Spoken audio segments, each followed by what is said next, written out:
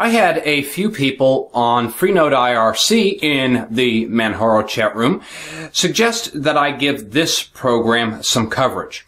I'm speaking about Octopi. Octopi is an alternative package manager for Manjaro Linux that also gives you the ability to access files in the AUR. I'm going to show you how to install it and then we're going to play with it and we're going to do all of that right now on Spatry's Cup of Linux.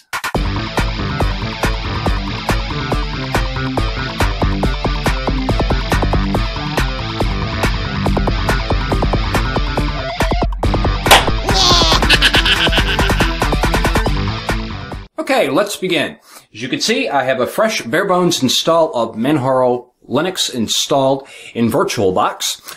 And the only thing I did was uh, move the panel uh, to a convenient place. I like my panels on top. Some people like them on the bottom. Some like them on the side. Some like them here. Some like them there, you know. So it's all about choice. And this is my choice. All right. Uh, maybe I've had too much coffee today. Okay.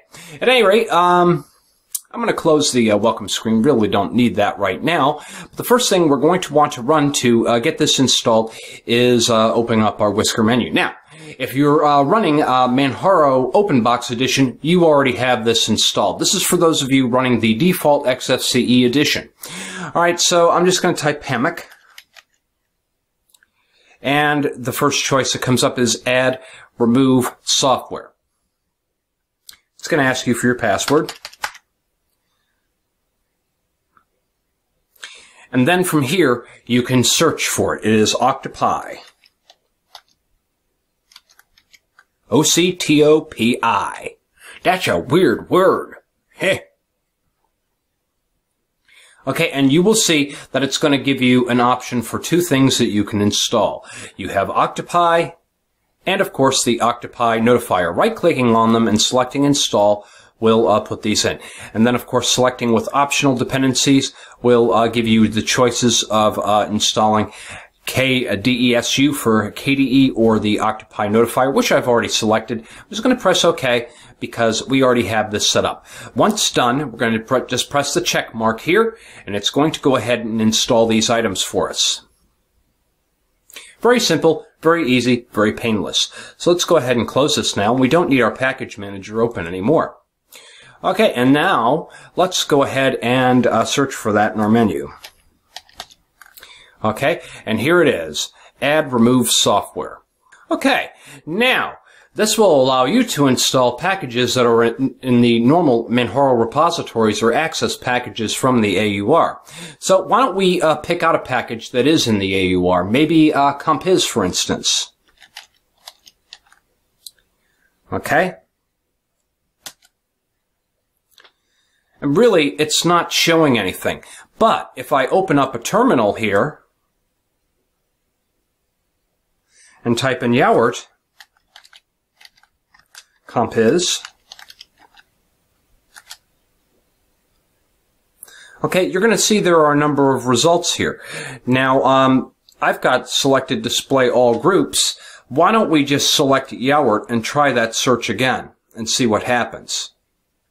Okay, it looks like it gave us some choices now. So it looks like we have um, a number of options here, and it looks like it's complete this time around. So apparently the first time I tried Octopi, I didn't even really explore doing this. So this gives us the option for installing things.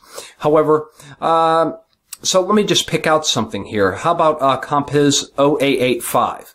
Uh, we select this, Okay? And basically it's going to give us some informations. It doesn't tell me anything on files or trans transaction here, output, news, or usage. Okay? So why don't we um, right click on this and select to install and see what's going to happen here. Ah, it opens up the terminal for us. So much the same way that you would if you were just to issue a command in the terminal saying, uh, Yaourt compiz. Do you want to edit the package build? Okay, why don't we have a look at this because this is important if you're going to be uh, installing things from the AUR. Let's go ahead and minimize this. Now, obviously, I'm not going to, pro- I'm probably not going to be able to get Compiz working because that is a known bug with the latest releases of VirtualBox. But just for demonstration purposes, we have this here. Do you want to edit the package build? By pressing enter, you are in essence saying yes right off the bat.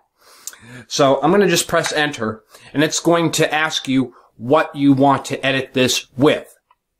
Okay, you could, uh, for instance, uh, place a line export editor equals uh, quotes vim in your bash rc file.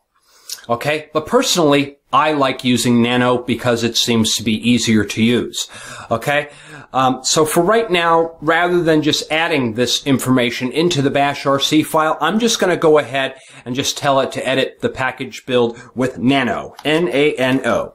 Okay, press enter.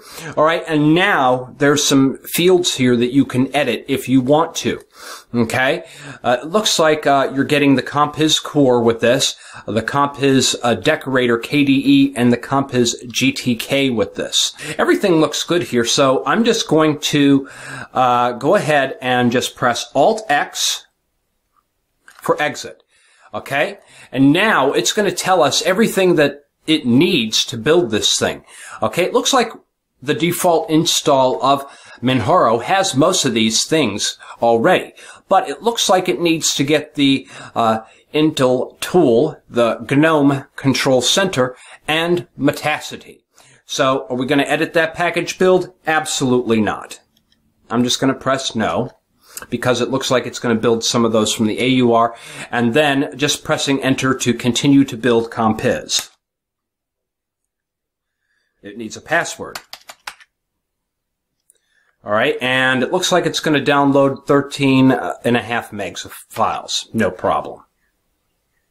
The one thing I really love about Yaourt is the fact that it does download a bunch of packages for you and it compiles them for you on the fly. It makes sure that you have all the dependencies that are necessary to build these packages rather than having to manually go in, install all of these individual packages for compiling yourself. And I mean, this is a very powerful feature. I really love it. When I was using Ubuntu based distributions, for instance, you know, you have to kind of, you know, run a command to you know, um, run sudo apt-get, install build essential, install this, install that. You know, you have to manually go in and install all of these things. So the nice thing about this is, you know, it does all of that for you. That is assuming that the person that puts this package build together uh, properly names all of the dependencies that are required. Sometimes I've seen instances where package builds or, uh, you know, would not properly build something because something was missing and then you'd have to go in and make sure that dependency was satisfied. It's very rare when that happens, but I have seen that occur. Okay, continue installing Compiz Core? Absolutely. Just press enter, password, and zip bada boom. Alright, now that it's done, it automatically closes. Well, let's see what we get when we type in Compiz.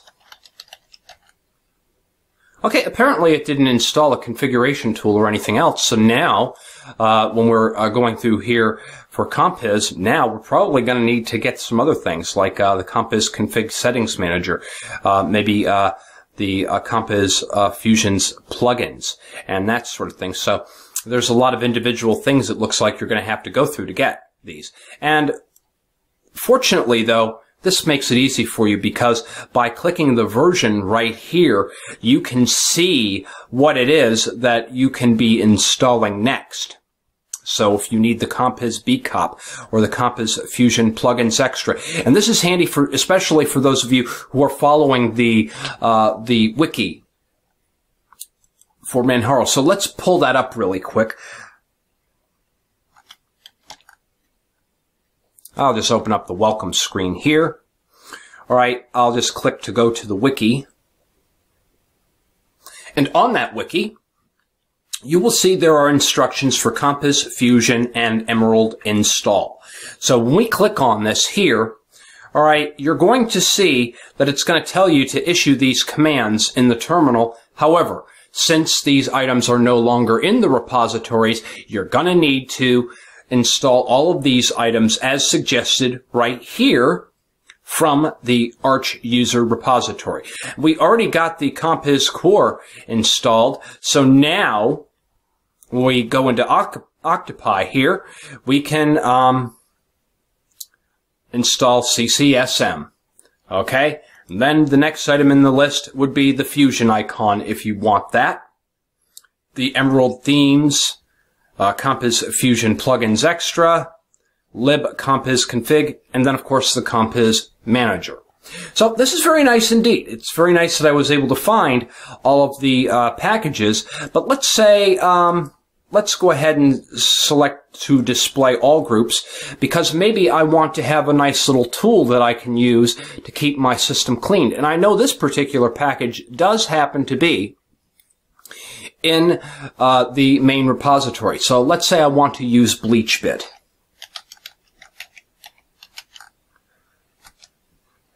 Okay, and you will see that it is in the community repository, and just by right-clicking, you can install. So this is a wonderful alternative, you know. Um, but the thing is, when you are searching through the AUR, I think you're just going to want to uh, select Yaourt itself. Okay, so very nice indeed. And look, they even have BleachBit in uh, the in the uh, Arch user repository. They have a BleachBit uh, bonus. Hmm, that may be something I could look into because it provides additional cleaners for BleachBit. Looks kind of cool. And then, of course, a, a BleachBit um, CLI version with no graphical user interface. Cool. And then, of course, um, you can get the latest and greatest bleeding edge by downloading the BleachBit Subversion version. Subversion version. Try and say that ten times fast. So it looks like Octopi is an excellent tool for you guys to try out. Uh, definitely give it a spin and uh, put your comments in the space below for the benefit of others. I'm out of here.